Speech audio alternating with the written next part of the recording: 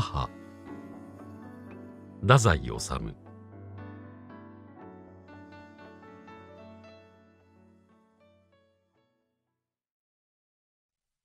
昭和20年の8月からおよそ1年3ヶ月ほど本州の北端の津軽の生家でいわゆる疎開生活をしていたのであるがその間私はほとんど家の中にばかりいて旅行らしい旅行は一度もしなかった。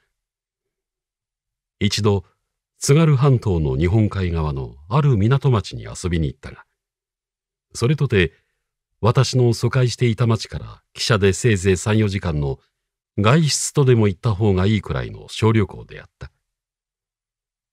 けれども私はその港町のある旅館に一泊して相話にも似た奇妙な事件に接したのである。それを書こう。私が津軽に疎開していた頃は、私の方から人を訪問したことはほとんどなかったし、また、私を訪問してくる人もあまりなかった。それでも時たま、福音の青年などが、小説の話を聞かせてください、などと言ってやってくる。地方文化という言葉がよく使われているようですが、あれは先生、どういうことなんでしょうか？うん。僕にもよくわからないのだがね。例えば、今この地方には、濁り酒が盛んに作られているようだが、どうせ作るなら美味しくて、そうしてたくさん飲んでも二日酔いしないような上等なものを作る。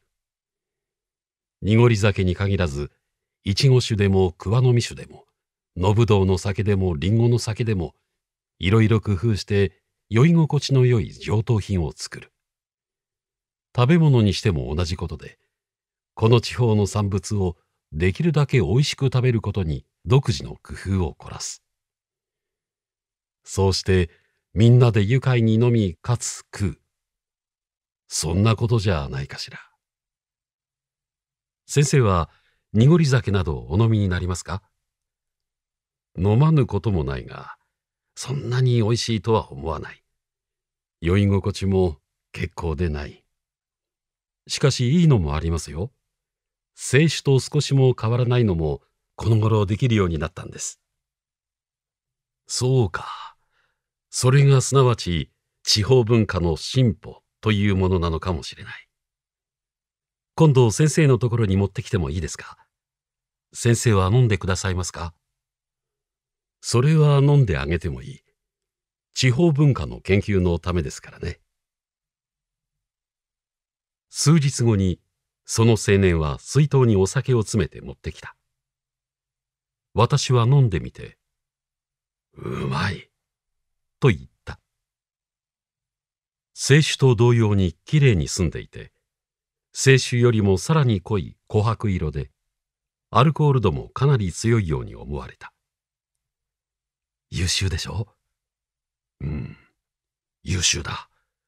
地方文化侮るべからずだ。それから先生、これが何だかわかりますか？青年は持参の弁当箱の蓋を開いて卓上に置いた。私は一目見て、蛇だ、と言った。そうです。マムシの照り焼きです。これもまた地方文化の一つじゃないでしょうか。この地方の産物をできるだけ美味しく食べるために独自の工夫を凝らした結果、こんなものが出来上がったんです。地方文化研究のためにも食べてみてください。私は観念して食べた。いかがです？美味しいでしょう？うん。精がつきますよ。これを一度に5寸以上食べると鼻血が出ます。先生は今2寸食べましたからまだ大丈夫。もう2寸食べてごらんなさい。4寸ぐらい食べたらちょうど体にいいでしょう。私は仕方なく、それではもう2寸ごちそうになりましょう。と言って食べた。いかがです？体がポカポカしてきやしませんか？うん。ポカポカしてきたようだ。突然青年は声を上げて笑った。先生、ごめんなさい。それは青大将なんです。お酒も濁り酒じゃないんです。一級酒に私がウイスキーを混ぜたんです。しかし、私はそれからその青年と仲良しになった。私をこんなに見事に担ぐとは見どころがあると思った。先生、今度僕の家へ遊びに来てくれませんか？大義だ。地方文化が豊富にありますよ。お酒でもビールでもウイスキーでも魚でも肉でも。その青年の名は小川慎太郎といって日本海に面したある港町の宿屋の一人息子だということを私は知っていた。それを餌に座談会じゃないのか？私はいわゆる文化講演会だの座談会だのに出て人々に民主主義の意義などを説き聞かせるのは苦手なのであるいかにも自分が偽物で狸のお化けのような気がしてきてたまらないのであるまさか先生のお話なんか聞きに来る人はないでしょうそうでもあるまい。現に君が僕の話を拝聴しに、こうしてたびたびやってくる。違いますよ。僕は遊びに来るのです。遊び方の研究をしに来ているんです。これも文化運動の一つでしょよく学び、よく遊べというやつか。その着想は、しかし悪くないね。そんなら、僕の家へ何の意味もなく遊びに来てくれてもいいじゃありませんか。汚い家ですけれども、浜から上がりたての美味しいお魚だけは保証します。私は行くことにした。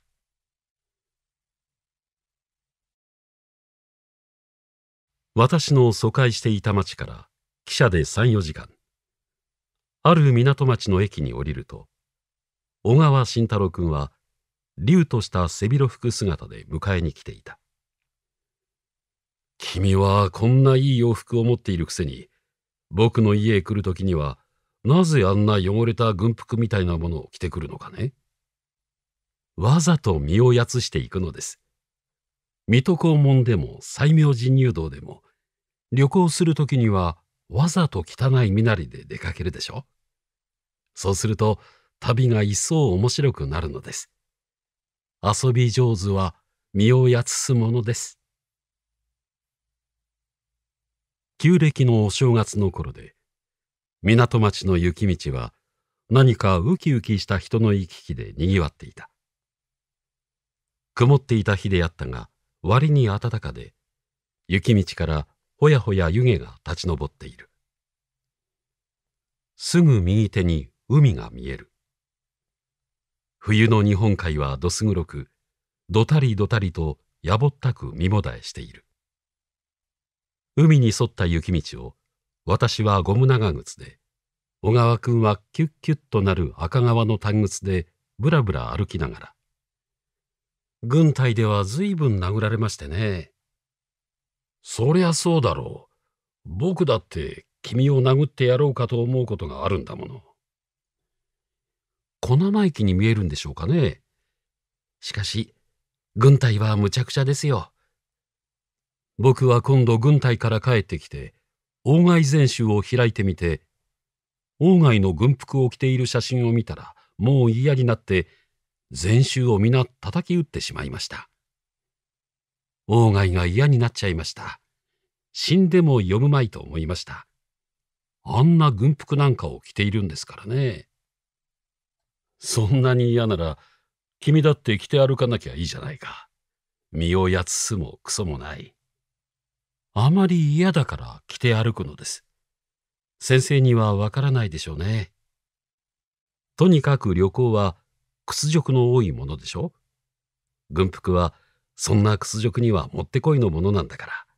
だから、それだから、わからないかな。作家訪問なんてのも一種の屈辱ですからね。いや、屈辱の大関くらいのところだ。そんな生意気を言うから殴られるんだよ。そうかな？嫌になるね。人を殴るなんて強靭でなくちゃできないことなんじゃないかな。僕はね、軍隊であんまり殴られるので、こっちも強靭の真似をしてやれと思って、工夫して両方の眉をきれいに剃り落として上官の前に立ってみたことさえありました。そりゃまた思い切ったことをしたものだ。上官も呆れたろう。呆れていました。さすがにそれ以後は殴られなくなったろ？いいえ、かえってひどく殴られました。小川君の家へ着いた。山を背にして海に臨んだ小綺麗な旅館であった。小川君の書斎は裏二階にあった。瞑想蒸気、必見至木、開局清涼とでもいうような感じであまりに整頓されすぎていて、かえって小川君がこの部屋では何も勉強していないのではないかと思われたくらいであった。床柱に写楽の版画が銀色の額縁に収められてかけられていた。それは例の天狗のしくじりみたいなグロテスクな役者の似顔絵なのである。似ているでしょ？先生にそっくりですよ。今日は先生が来るというので、特にこれをここにかけておいたのです。私はあまり嬉しくなかった。私たちは机のそばの炉を挟んで座った。彼の机の上には一冊の書物が開かれたまま置かれていた。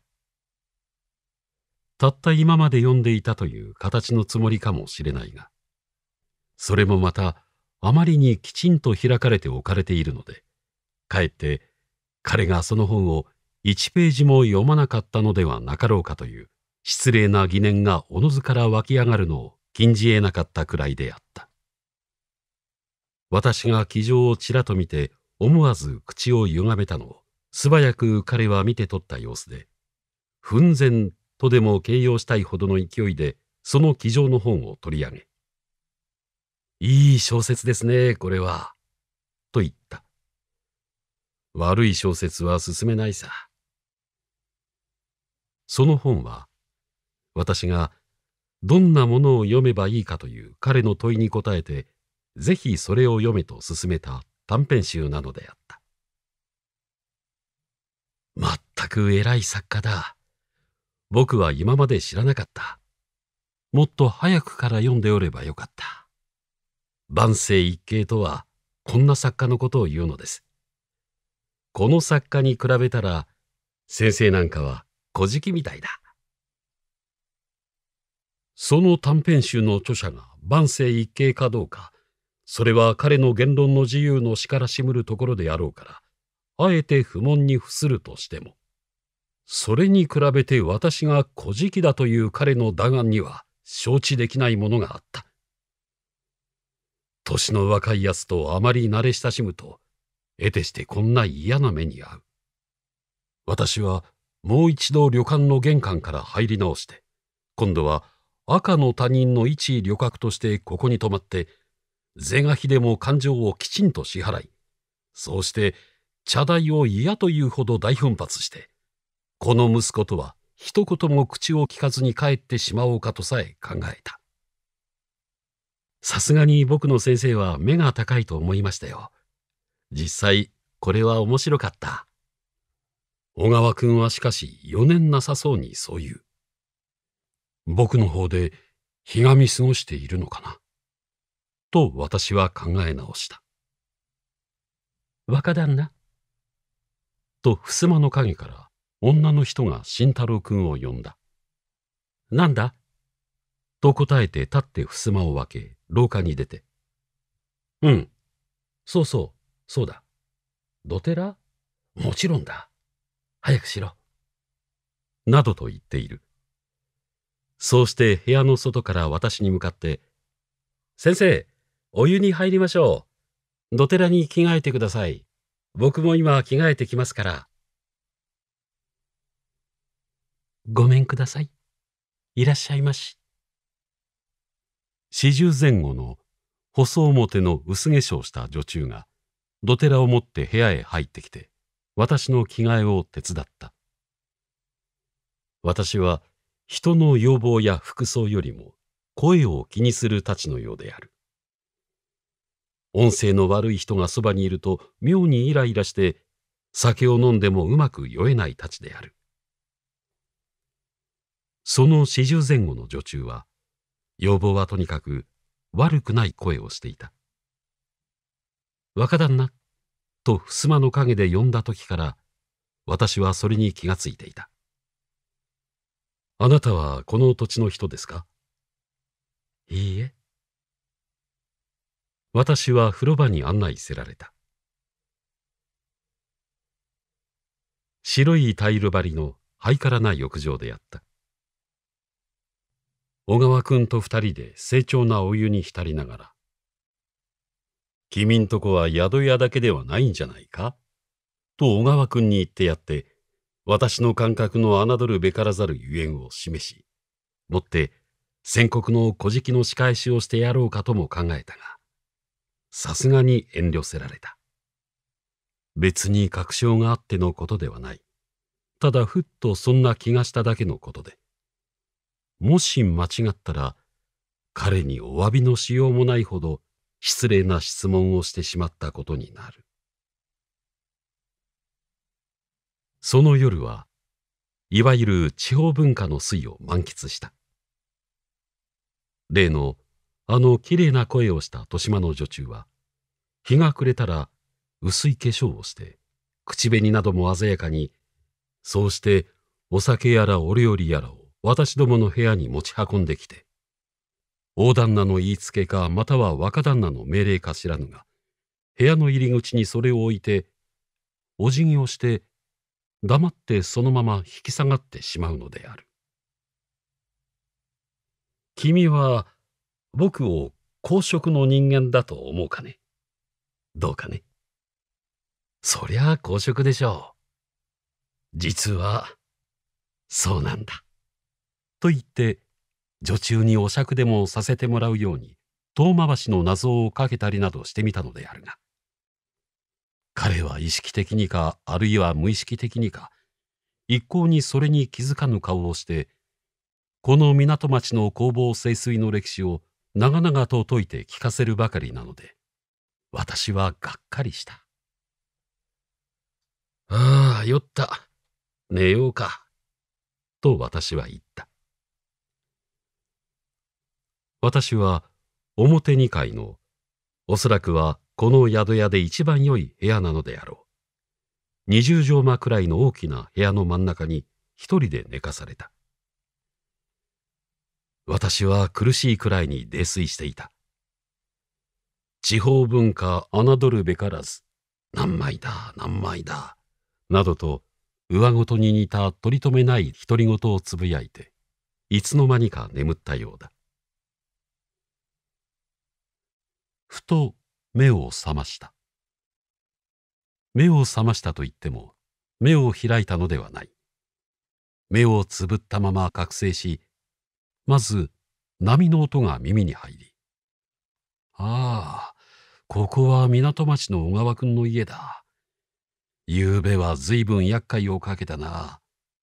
というところあたりから後悔が始まり、身の行く末も心細く、胸がドキドキしてきて、突然、20年も昔の自分の奇妙にキザな振る舞いの一つが、前後と何の連関もなく色鮮やかに浮かんできて、キャッと叫びたいくらいのたまらない気持ちになり、いかん、つまらん、など、低く口に出して言ってみたりして、床の中で点々しているのである。泥酔して寝るといつも決まって夜中に目を覚まし、このようなやりきれない刑罰の二三時間を神から与えられるのが、私のこれまでの習わしになっているのだ。少しでも眠らないと悪いわよ。紛れもなくあの女中の声である。しかしそれは私に向かって言ったのではない。私の布団の裾の方に当たっている隣室からひそひそと漏れ聞こえてくる声なのである。ええ、なかなか眠れないんです。若い男の、いや、ほとんど少年らしい人の嫌味のない応答である。ちょっと一眠りしましょうよ。何時ですか？と女。3時13、4分です。そう。その時計は、こんな真っ暗闇の中でも見えるの？見えるんです。蛍光板と言うんです。ほら、ね。ホタルの光のようでしょ？ほんとね。高いものでしょうね。私は目をつぶったまま寝返りを打ち考える。なんだ、やっぱりそうだったじゃないか。作家の直感侮るべからず、いや、公職官の直感侮るべからずかな。小川君は僕のことを小じだなんて言って、ご自身大いに高潔みたいに気取っていやがったけれども、見よ。この家の女中はお客と一緒に寝ているじゃないか。明朝彼に早速このことを告げて、彼をして狼狽させてやるのも一興である。なおもひそひそ、隣室から二人の会話が漏れてくる。その会話によって私は、男は機関の航空兵であること、そうしてたった今帰還して、昨夜この港町について、彼の故郷はこの港町から三里ほど歩いていかねばならぬ寒村であるから、ここで一休みして夜が明けたらすぐに故郷の成果に向かって出発するというプログラムになっているらしいこと。二人は昨夜初めて会い合ったばかりで、別段窮地の間柄でもないらしく、互いに多少遠慮し合っていることなどを知った。日本の宿屋はいいなぁ、と男。どうして？静かですから。でも、波の音がうるさいでしょ？波の音には慣れています。自分の生まれた村では、もっともっと波の音が高く聞こえます。お父さんお母さん、待っているでしょうね。お父さんはないんです。死んだんです。お母さんだけ？そうです。お母さんはいくつ？と軽く尋ねた。38です。私は暗闇の中でパチリと目を開いてしまった。あの男が二十歳前後だとすると、その母の年は、そりゃそうかもしれぬ。そのはずだ。不思議はない。とは思ったものの、しかし38は隣室の私にとってもショックであった。無言とでも書かなければならぬように、果たして女は黙ってしまった。はっと息を飲んだ女のそのかすかな気配が、闇を通して隣室の私の呼吸にぴたりと合った感じがした。無理もない。あの女は38か9であろう。38と聞いて息を飲んだのは、女中と、それから隣室の公職の先生だけで、若い機関兵は何にも気づかぬ。あなたはさっき指にやけどしたとか言ってたけど、どうですか？まだ痛みますか？とのんきに尋ねる。いいえ。私の気のせいか、それは消え入るほどの力弱い声であった。やけどにとてもよく効く薬を自分は持っているんだけどな。そのリュックサックの中に入っているんです。塗ってあげましょうか。女は何も答えない。電気をつけてもいいですか？男は起き上がりかけた様子だ。リュックサックからその火傷の薬を取り出そうと思っているらしい。いいのよ。寒いわ。眠りましょう。眠らないと悪いわ。一晩くらい眠らなくても自分は平気なんです。電気をつけちゃいや。鋭い誤調であった。隣室の先生は一人うなずく。電気をつけてはいけない。聖母を明るみに引き出すな。男はまた布団に潜り込んだ様子だ。そうしてしばらく二人は黙っている。男はやがて低く口笛を吹いた。戦争中に流行った少年航空兵の歌曲のようであった。女はポツンと言った。明日はまっすぐに家へお帰りなさいね。ええ、そのつもりです。寄り道をしちゃダメよ。寄り道しません。私はうとうとまどろんだ。目が覚めた時はすでに午前9時過ぎで隣室の若い客は出発してしまっていた。床の中でぐずぐずしていると小川君がコロナを5つ6つ片手に持って私の部屋にやってきた。先生おはよう。夕べはよく眠れましたか？うん。ぐっすり眠った。私は隣室のあのことを告げて小川君を狼狽させる企てを放棄していた。そうして言った。日本の宿屋はいいね。なぜ？うん。静かだ。